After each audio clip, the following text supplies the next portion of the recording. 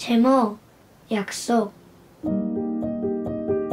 약속이란 뜻은 꼭 지키겠다는 말. 근데 사람은 언제나 한 번씩은 약속을 못 지키지. 근데 엄마는 나한테 아주 좋은 약속을 해주셨어.